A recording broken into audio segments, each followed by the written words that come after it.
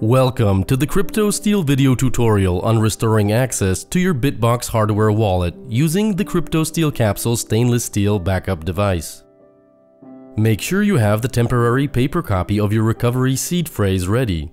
If you don't have the seed phrase ready, please watch the previous video tutorials in this playlist. Start by following the manufacturer's instructions, which may include launching software provided by the manufacturer. Verify that the pairing code on the screen matches the one on your BitBox.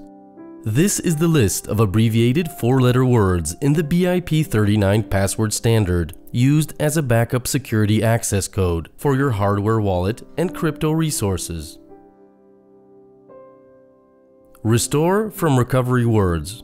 You will be prompted to enter abbreviated words from your recovery seed phrase which you should have already transferred from your CryptoSteel onto a temporary paper copy.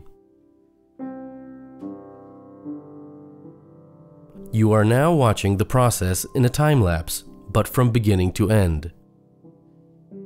You only need the first four letters of each word to restore your BIP39 password, because the system is based on a predefined vocabulary. The BIP39 standard invented by Satoshi Labs, creator of the Trezor device, has been embraced by all leading hardware wallet manufacturers, including Ledger, Bitbox, and Blockstream. You will only need to enter the first few letters. That's all it takes. Congratulations, you have successfully restored your hardware wallet backup. Set a password, then repeat it. Although simple and only taking a few minutes, this procedure provides lifelong protection for sensitive data. Make sure to destroy the paper copy after completing this process and secure your microSD card backup. CryptoSteel, the mother of all backups.